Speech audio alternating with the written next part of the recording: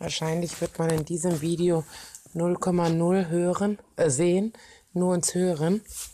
Wir machen eine Nachtschicht im Stall. Käppi lag, aber er kennt es ja nicht mehr, dass wir kommen. Ist sofort aufgestanden, aber ganz stressfrei. Steht jetzt hier zum Beweis.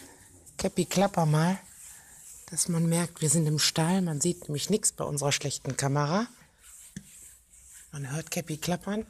Ich streichel ihm gerade und er genießt es total. Sophia, sag mal, dass du auch da bist. Hallo. Jetzt muss ich wieder die Taschenlampe anmachen, damit sich keiner erschreckt. Und Käppi ist so lieb, es ist kühl, keine Fliegen sind da. Käppi kuschelt mega mit uns. Es ist so toll. Und Käppi macht gar nichts. Der ist so entspannt gerade. So bräuchte ich den auch tagsüber. Tschüss. Tschüss.